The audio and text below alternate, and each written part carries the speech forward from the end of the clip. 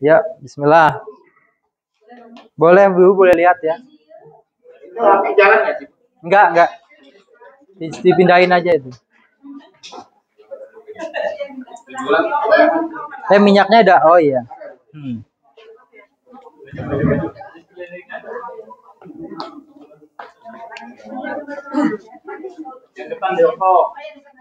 Nah, coba teman-teman. Kita nanti mau melakukan kop ya, kop TCM di sini ke pasien kita ini. Saat melakukan terapi, kita pegang dulu badannya, Bu. Pegang dulu badannya ya. Nah, di sini kita rasakan. Kemarin kita sudah bahas ada tiga ciau ya, disebut dengan san ciau. Tahu Bu san ciau, Bu? San ciau atau tri pemanas. Tri pemanas itu nanti tubuh kita dibagi menjadi tiga, ciau bawah, ciau tengah, ciau atas, gitu ya. Batasnya ciau bawah itu di mana, Bu? Mulai dari ini, sen sensu, ya. Sensu, maaf ya kita gambarin di sini nanti nih. Nah, ini ini ke bawah, ini adalah ciau bawah namanya. Dia bertanggung jawab terhadap siapa? Ginjal, kandung kemih, usus besar, anus, kemaluan sampai ke kaki ini. Kemudian ini disebut dengan ciau tengah. Nah, di sini nih. Nah, ini ya. Ciau tengah itu nanti pencernaan, Bu. Ada lambung, pankreas, hati. Nah, gitu ya. Eh, usus halus nanti di sini semua ini ya. Maka di sini nanti disebut sebagai ciau tengah. Yang atas ini nanti bertanggung jawab terhadap jantung, paru-paru, dan kepala. Gitu. Maka kita pegang pasien nanti ciau bawah, ciau tengah, ciau atas. Kita pegang ini ciau bawahnya dingin. Nah, ciau bawahnya dingin. Ciau bawahnya dingin, ciau tengahnya hangat, ciau atasnya panas. Jadi nggak stabil ini. Tiga ciau ini nggak stabil. Seharusnya dia stabil, panasnya sama. Nah, gitu ya panas. Ini pegang nih Pak. Nanti nih ini sama sini sama ini beda. Ini paling dingin nih bawah nih. Nah beda ya. Beda. Tuh. Nah untuk nerapi pasien kita ada minyak minyak Eflura 7 sindrom. Nah, ini bukan jualan nih ngasih tahu. Wah, ngasih tahu. Ini minyak tujuh sindrom, Bu. Bisa untuk sindrom angin, dingin, panas, eh, angin dingin, angin kering, angin panas, lembab dingin tuh bisa pakai ini ya. Ya, karena ini produksinya itu kurang lebih 2 sampai 3 bulan kita produksi ini. Makanya rasanya itu anget gitu ya. Nah, nih kita jadi kondisi pasien seperti apa pun oh ya, kondisi pasien seperti apa pun bisa kita pakaiin minyak sindrom 7 sindrom ini. Kalau nerapi pasien, minyaknya jangan dituang ke badan. Ya boleh, itu tidak tidak sopan gitu ya. Nah, nggak sopan. Jadi diapain? Ditaruh di tangan, kemudian kita usap. Eh maaf, ya diusap-usap ya, diusap-usap, kemudian diratakan ke eh, badan. Nah, minyak tujuh sindrom ini kalau badannya dingin dia bisa hangat. Kalau banyak angin dia anginnya insya Allah bisa keluar. Kalau badannya panas bisa dingin. Ini ya. Jadi kita ratakan kemudian dipijat ringan dulu. Nah, pijat ringan. Mulai dari bawah ya. Mijatnya mulai dari bawah, Bu. Pakai pakai ini, pakai tulang ibu jari nih. Nah, gini. Pelan-pelan aja. Hmm. Nanti nanti kan juga ada prosesnya, Bu. Diikutin aja. Nah inilah standarnya sifu. Nah, ini ya. Dipijat dulu. Ini standar tahapannya. Ini ya. Dari sini ntar lari ke anuan. Dipijat. Iya. Pasien nggak bakalan lari. Nah, ini kalau kalau ada. Oh di sana diurut. Kalau ada apa benjolan gerinjalan gerinjalan di sini nih Bu, dilama-lamain nggak apa Nah, ini ya. Ada pertanyaan sifu. Hmm. Terus pakai apa? Topung kah, top jar kah, pijat boleh nggak begini gitu loh? Boleh bebas. Bebas. Bebas. Sesuai yang kita kuasai. Yang dikuasai apa? Ilmu sihir boleh. Nah, ini kelihatan nih. Kelihatan ya, baru di baru dipijit aja udah merah nih, Bu. Lambung nih beliau nih masalah. Nah, ya, direlaksasi gini pelan-pelan aja dulu, ringan. Merah nih ya, merah nih, Bu. Kalau sudah, kemudian kita lakukan kop luncur. Kop luncur dulu, ini juga standarnya kita fungsinya untuk apa? Untuk merelaksasi otot. Biar ototnya lebih rileks, menghindari terjadinya apa? Kaku lah, segala macem ya. Nah, ini. Nah, iya ke bawahnya pelan, ke atasnya kita tekan. Jadi ke bawahnya tarik aja, ke bawah tarik aja, ke atas baru kita tekan. Jadi nanti merah gini Bu dia Bu. Nah. Sakit nggak Pak? Mantep. Eh. Gratis. Ya. Nah. Merah banget nih masuk angin ini. Enggak, tarik aja ke Nah. bawah. Ke ke bawah itu tarik aja Bu, tarik aja biasa. Tarik biasa, sana tekan. Gini ya. Mulainya dari bawah. Nih nih coba nih. Ke bawah tarik aja, ke atas baru kita Gitu ya. Oh, merah bener ini. Nah, nih biang keroknya kan di sini nih, Pak. Nih Fengmen kemarin di sini kan Fengmen itu kan. Nah, pusatnya angin itu kan di sini kemarin nih. Ada Fengmen, ada Feisu, Shinsu, Cueyinsu. Nah, di sini semua. Nah, melingkar, Bu. Nah, ini ya. Nah, nih. Melingkar ini, melingkari Caranya, belikat. caranya perhatiin. Melingkari belikat ya. Nah, melingkari belikat.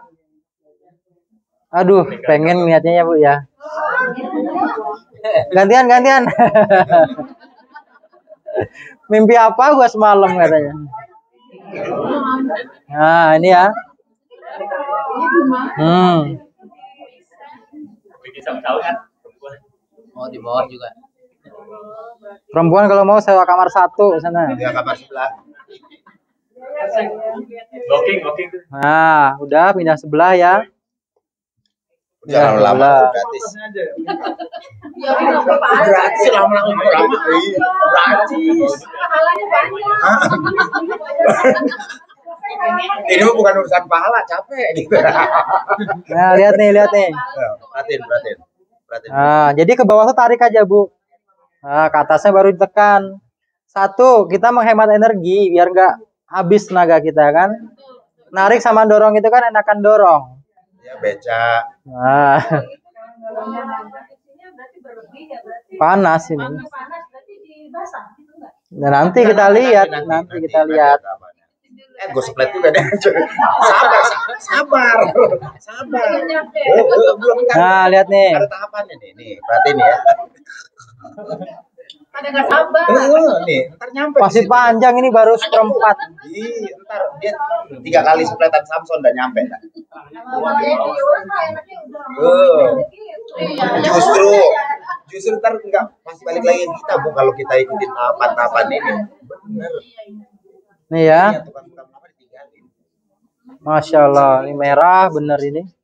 Sering berkendara ya Pak, jauh ya Pak, naik motor. Pulang malam kali. Angin ini. Ini kan Fengmen nih Pak nih. Ya, Lihat perhatiin. ini merah nih Fengmen ini Fengmen, Fengmen nih merah. Masuk angin nih. Angin dipelihara, kambing dipelihara Pak. kambing. Ah. Gemuk kagak sakitnya.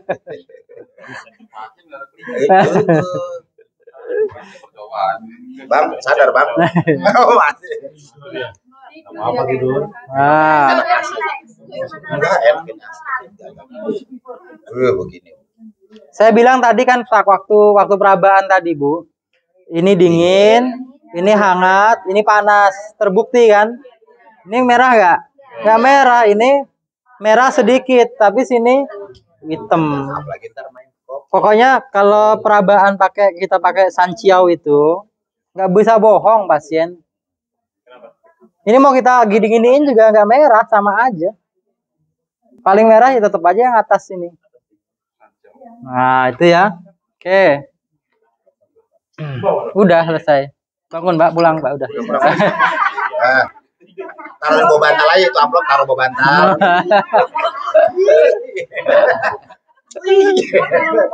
Ih berisik. Ih. Nah kalau sudah kita mainkan kop api. Kop api. Oh kita mau kop kering dulu ya? Oh kop kering dulu. Kalau kop kering, kalau kop kering, saya mau ngajarin teman-teman itu satu teknik aja. Teknik pembetulan tulang belakangnya aja ya. Nah. Untuk penanganan saraf kejepit. Nah itu kita pakainya di seluruh di, di sepanjang tulang belakang ini pak. Nah, itu saraf kejepit. Nah, nanti gini caranya. Di tulang tengah rapet kita rapetin gini. Nah ini, ini ya. Di sepanjang tulang belakang nggak dikeluarin darah sampai ke tulang ekornya nanti. Nah ini ya. Nah kita anggap kita anggap udah sampai tulang ekornya. Nah ya, sepanjang tulang belakang ini. Nah nanti ini dibiarkan 2 sampai 3 menit. Kalau sudah dikencengin pak, misalnya udah 2 menit gitu kencengin. Tambahin lagi. Nah ini, ini kalau orang saraf kejepit nggak kuat di gini ini. Ini ya, nggak kuat. Jadi ada posisi-posisi di mana tulang belakang itu dia yang menonjol atau masuk ke dalam, gitu kan? Nah kita perbaiki dengan cara seperti ini. Nah semuanya. Nanti kalau dia ada keluhan, misalnya nyeri di di kanan dan kiri, kita tambahin lagi bu. Nah yang area nyerinya itu, misalnya dia bilang "Eh, ini sakitnya pak sampai ke sini ke bawah, ya kita ikutin aja itu. Nah di kop juga. Nanti kalau dia bilang sakitnya ke sini, tarik aja, tambahin ke sini sampai bawah. Ini Nah, makanya beli kop aja. Banyak makanya kita harus punya alat kop yang banyak. Banyak, Pak. Betul, Nah, kan Pak Aceh jual itu murah, yang Baui. Berapa persen? Berapa? Nah, dulu gitu pada saat kita harus banyak bu kita ya. Nah ini Sederet ya Pak itu dia semua sederet. Nah, Iya, iya, seumpama ini bebas kita taruh di mana pun bisa. Kita taruh di sini bisa. Iya. Sampai nggak terbatas pak. Misalnya dia nanti nyerinya di sini nih. Nah, kita kop juga di sini. kalau bayarnya murah ya udah segitu aja. duit lagi duit lagi lu macet. Termasuk juga kondisi stroke, stroke yang sulit kakinya untuk bergerak itu kita perbaiki dulu tulang punggungnya bu. Perbaiki tulang punggungnya, kemudian nanti kita ambil kop di kaki. Tapi kopnya punya hanyalah kop kop kering. Nah ini ya. Nah ini kita kempesin, tarik lagi ya bu.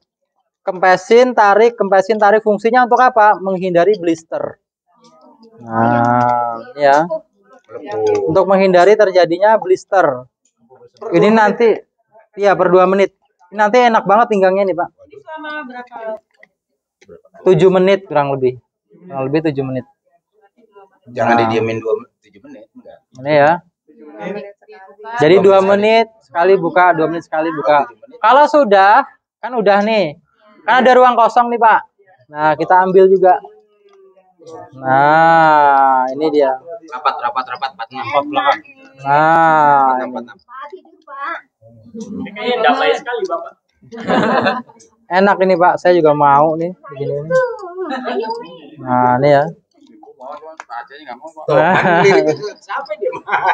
Nah ini.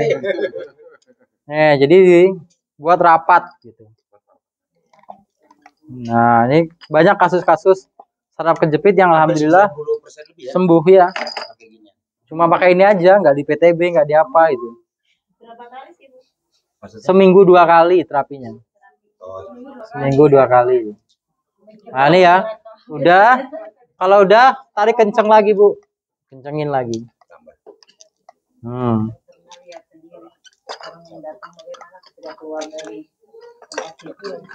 Langsung ngacir.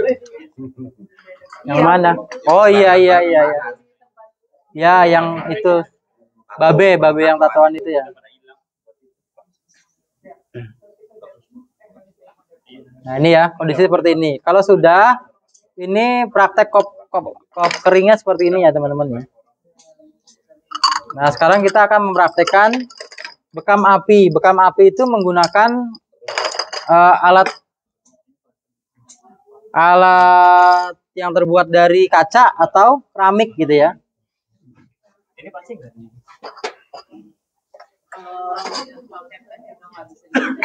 Ya bahaya. Sama, sama.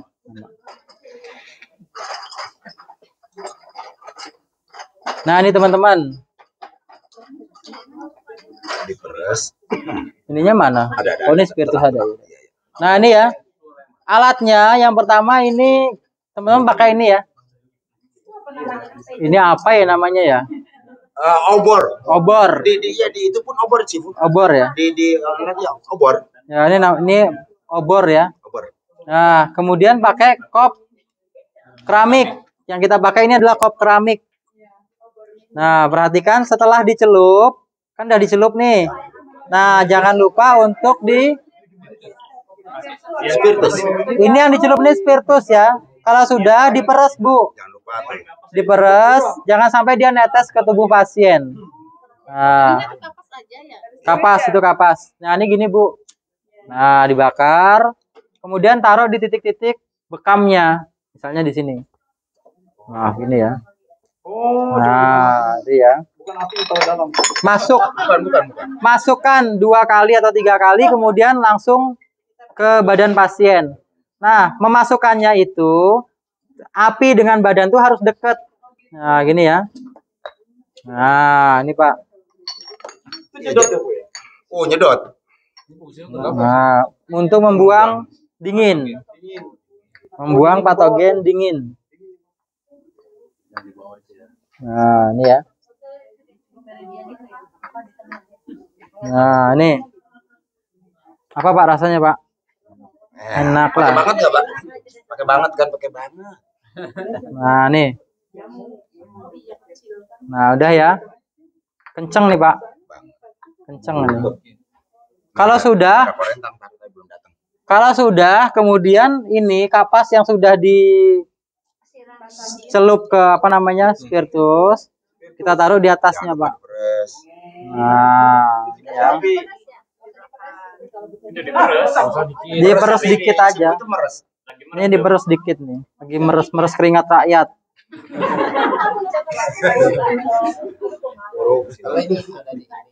Nah, ini ya. Wah, ada aca-aca jualan. Mayoke dagangannya. Nah, ini ya. Enggak coba bukan bukan yang ini. Tapi perlakuan ini, Pak, perlakuan pembakaran di atasnya ini cuma boleh digunakan pakai kop keramik. Ya, kalau kop kaca nggak bisa. Nggak bisa. Nah, kalau sudah dibakar. Rasanya kayak orang Banten lah. Pakai spiritus. Kalau alkohol dia anu ada jelaganya nanti, Bu. Hit- Hitam hitam. Ah, hitam. Hitam itu apa tuh? Apa tuh? Angusnya itu. Harusnya itu ya. Nah, ini. Ini prakteknya seperti ini. Berapa menit? Berapa menit sampai apinya mati sendiri? Ya. Ya. Kalau kalau apinya sudah mati, kita ulangi sekali lagi nanti. Dibakar lagi. Cuma boleh dua kali. Kalau tiga kali, beberapa pasien dia Blister. Nah, ini. Kalau pakai keramik, insya Allah dia nggak nggak pecah. Tapi kalau pakai kaca, dia bisa bisa pecah. Walaupun Pirex. Oh, iya. Tapi Ya, ya, Bu. mahalnya bisa coba dikebayang nggak? Mahal lah. Mahal ini aja sejuta. Pirek, Enak nggak mas? Enak ya? Iya coba begini. Kita bansnya pirek bentuk begini. Belum pernah lihat aja. Belum pernah nggak ada. Ada yang kuningan aja dua juta setengah. Nah, nanti kita lihat, kita lihat. Boleh, boleh ntar. Nah, ini kan udah anget ini. Untuk paru-paru yang apa terendam air. Ini. Suliman. Eh, dia lagi enak menikmati. Yang baik gerak aja kunci. Ada dua kan Sulaiman kan? Ada, ada. Iya. Itu Sulaiman, ini Sulaiman. Eh, eh, emang bisa. Iya. Emang asma bisa. Nah, udah cing, matiin cing. Ya, alhamdulillah. Ini yang Suliwa.